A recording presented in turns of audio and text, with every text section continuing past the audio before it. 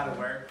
Um, and so, you know, it may not seem like, you know, you would get two or three emails from Kitty, but she's sending two or three emails to hundreds of people after, after you're having mistakes signing in and all that kind of stuff. So it's a lot of work, so appreciate people who do it. And then also the ones who volunteer and help out, um, it makes a big difference. So for those of you, keep doing it, and for everyone else, start doing it.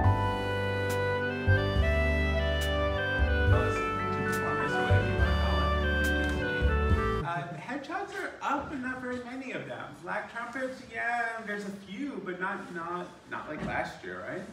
Uh, so you know, every single year is different. What's really surprising for me is how few waxy caps are up.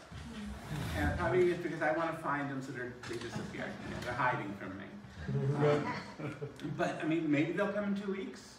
Maybe they won't. Maybe they'll skip the year. But what you know, that that's what's fascinating to me is like you know, what makes things fruit win, uh, because it doesn't seem to make any sense.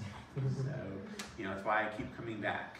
you know, this this used to be. So a lot of people have like asked like you know, how did I how did I start doing this? Um, and the question, I, I went on a mushroom walk with a local mushroom club back in, uh, you know, Summer, Massachusetts. Went to the local mushroom club when I was seven years old and got hooked.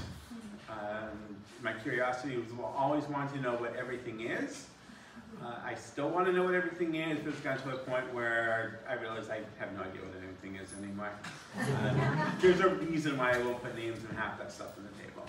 You know, you can you can pretend all you want, um, but then there's so much work to be done in mycology. So. Uh,